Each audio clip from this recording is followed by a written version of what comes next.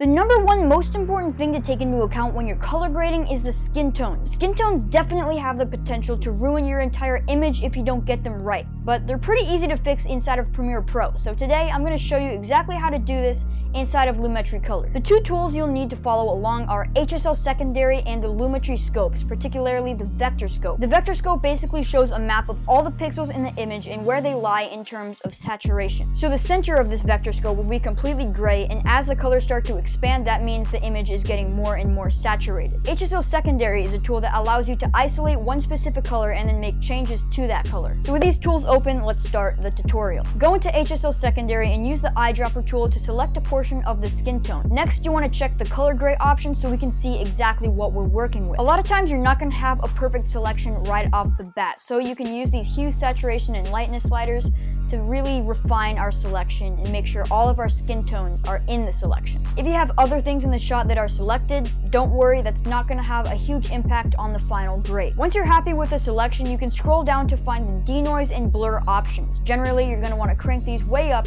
so that we don't have any artifacts in the image, especially right around the skin tones.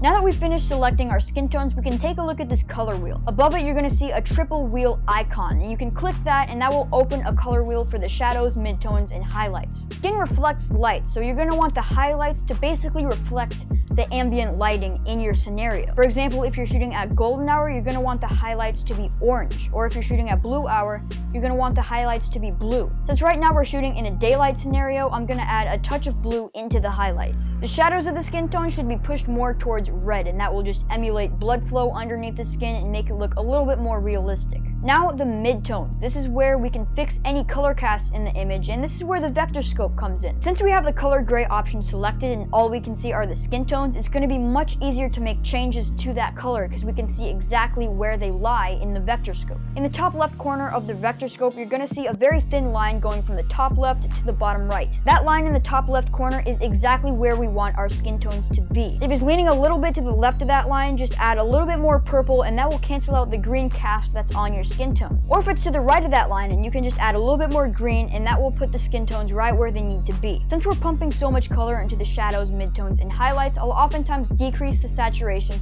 so we can have a more realistic looking skin color. Depending on the scenario, I might increase the exposure or increase the contrast to make it stand out a little bit more. So now if we uncheck the color gray option and turn this effect on and off, hopefully we've fixed the skin tones and it looks significantly better than what we had before. That being said, I hope you guys learned something from this video. If you did, please feel free to show your support by leaving a like on this video, sharing it with your friends, or even subscribing to my channel. I upload a new filmmaking video every single week. But that's all for now. Stay safe, stay creative, and I will see you in the next one.